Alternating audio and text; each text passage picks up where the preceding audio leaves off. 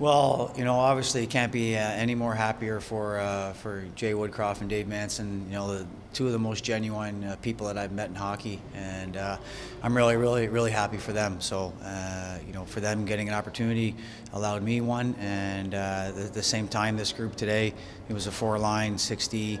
Um, you know, it was a, it was a fantastic effort, and happy to be a part of it kind of a whirlwind week, week, obviously, the last 24, 48 hours, no time to really prepare. What did you do for tonight's game? Just go with the flow? Well, you know, Sly and uh, Sly Rodrigue and uh, Noah Siegel were unreal. Keith stepped up as well and came on the bench. And, you know, as I was in transit, uh, we were talking about video. Jay and Dave left this team in an unbelievable place. Uh, so really, it, it's you, you got to come in. You got to be your you got to be your own person. You got to be your own man. Uh, but uh, they they really have, have set this this club up to be in a position to compete every night. Jay talked about it quite often throughout the last couple of months about all the changes yet how this team seamlessly everybody just fills into their role finds a way to win. The same thing tonight lots of people another different lineup another win yeah, I mean, you know, uh, again, our, our, our, compete level, our battle level was very high. You know, we talked about trying to play fast, and, and our guys did that.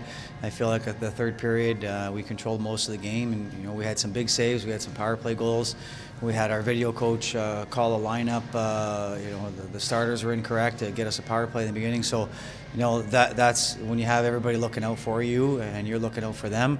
That's a recipe for just to be competitive on a nightly basis. Coach, on a personal level, what were your emotions like taking over as the head coach here tonight?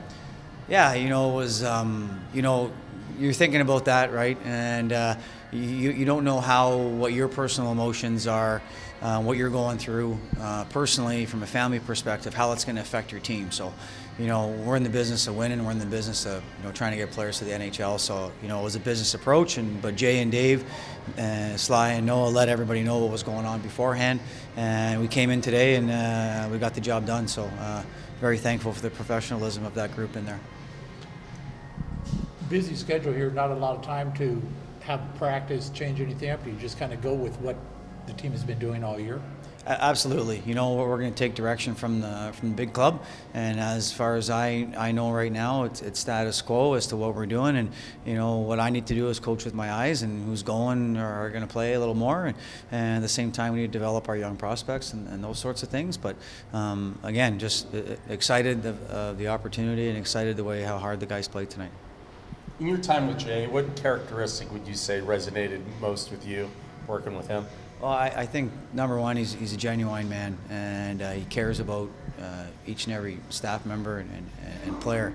And, and when you feel that, that he feels that he actually cares about you, uh, you want to work for him. You want you want to uh, you want to make sure you're sharp. You want to make sure you're good. So, um, you know, the professionalism, the detail, how smart he is, all those sorts of things. Um, you know, uh, that's great. But I, I think how genuine and how much of a uh, just a great person he is, husband, father, friend. Um, yes, he's a super smart person and he's prepared and organized and, and, and detailed and all those things. But I think what separates him and what I learned a lot from him is just how genuine he is and, and how much he cares about his people.